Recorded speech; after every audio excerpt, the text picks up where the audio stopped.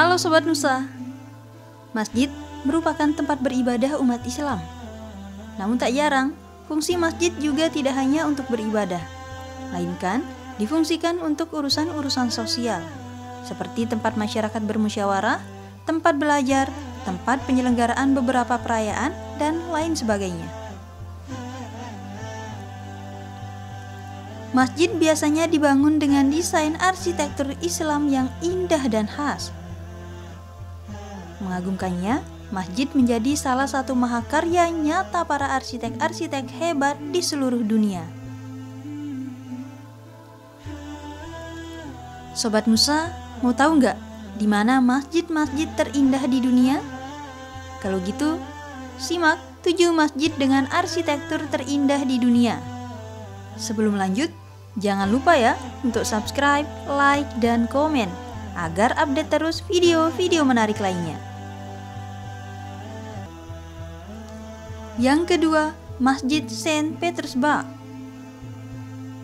Masjid Biru Petersburg berada di pusat kota, tak jauh dari Sungai Nepa dan benteng Pete dan Paul yang ikonik di Rusia. Didominasi warna biru, masjid ini bernama Jamul Muslimin tapi lebih sering dijuluki sebagai Blue Mosque atau Masjid Biru. Masjid ini dibangun pada 1910 yang bertujuan untuk menghormati Emir Bukhara dan sekaligus menandai bergabungnya Asia Tengah dan Rusia. Setelah proyek pembangunan masjid rampung pada 1913, Masjid ini menjadi tempat ibadah terbesar di Rusia. Masjid ini dapat menampung 5.000 jamaah. Dua menaranya menjulang setinggi 49 meter dan tinggi kubahnya 39 meter.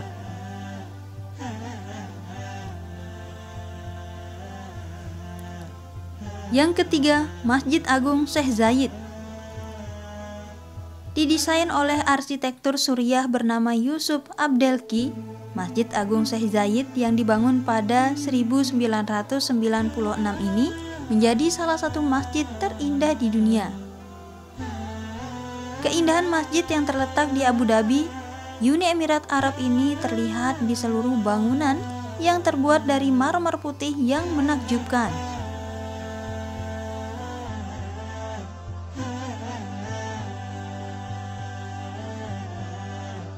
Lampu-lampu yang menghiasi bagian dalam masjid terbuat dari kristal dan emas 24 karat. Inilah yang membuat masjid ini semakin menambah kemegahannya.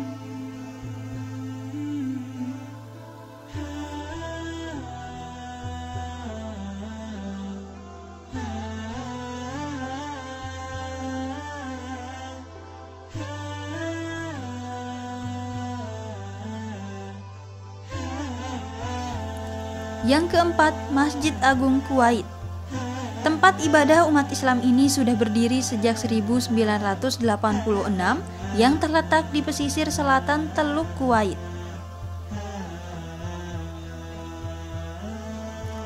Arsitektur Masjid Agung Kuwait ini mengikuti gaya konvensional. Namun, desain Persia juga bisa ditemukan pada kubah utama atau lengkungan gerbang yang dilalui para jamaah yang masuk dan keluar. Masjid ini didominasi dengan warna abu-abu kecoklatan.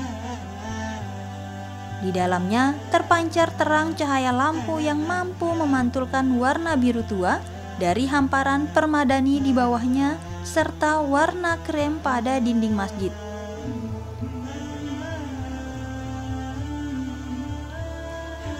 Yang kelima, Masjid Al-Nabawi. Setiap orang pasti mengenal masjid ini. Masjid yang mulanya didirikan oleh Nabi Muhammad Sallallahu Alaihi Wasallam ini menjadi salah satu destinasi perjalanan suci umat Islam di seluruh dunia. Menakjubkannya, masjid ini menampung sekitar 500 ribu jamaah. Payung-payung raksasa yang dipasang pada pilar-pilar di bagian luar masjid ini memiliki ornamen-ornamen khas Timur Tengah yang dilengkapi dengan sistem drainase dan pencahayaan yang otomatis.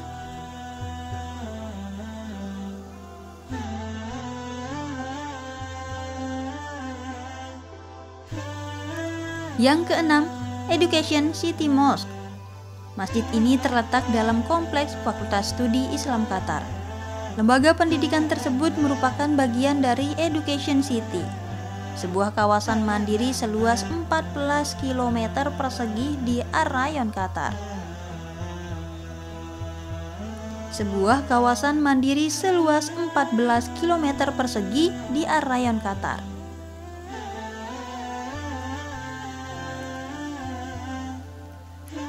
Elemen arsitektur yang futuristik terlihat jelas pada bagian eksterior dan interior masjid. Struktur Masjid Education City tidak seperti masjid pada umumnya. Bentuknya menyerupai cangkang kerang yang berwarna putih berkilau. Ruangan utamanya cukup luas, dengan langit-langit berbentuk cekung dan besar. Pada langit-langit masjid ini terdapat ratusan lubang-lubang kecil yang dapat ditembus cahaya matahari. Pada bagian menara dan kubah di bagian dalamnya dihiasi dengan berbagai ukiran kaligrafi dari ayat-ayat suci Al-Quran. Kilauan berlian pun turun memenuhi kubah bagian dalam yang membuat seolah bintang-bintang berpendar di angkasa. Menarik bukan?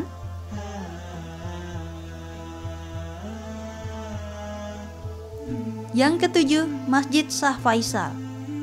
Masjid ini menjadi yang terbesar di Pakistan yang memiliki struktur bangunan yang berbeda dari yang lainnya. Bentuk kubahnya tidak bulat, melainkan berbentuk simetris yang terinspirasi dari tenda tempat bermukim suku Beduin.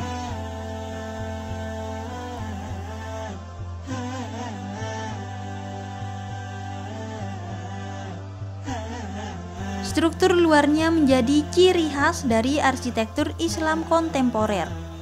Kesan modern pun diusung untuk keseluruhan arsitekturnya. Nah, bagaimana Sobat Nusa? Menarik bukan? Kira-kira mana nih masjid favorit Sobat Nusa? Coba tulis di kolom komentar ya. Oke, sekian dulu video kali ini. Sampai jumpa di video-video menarik lainnya. Dah.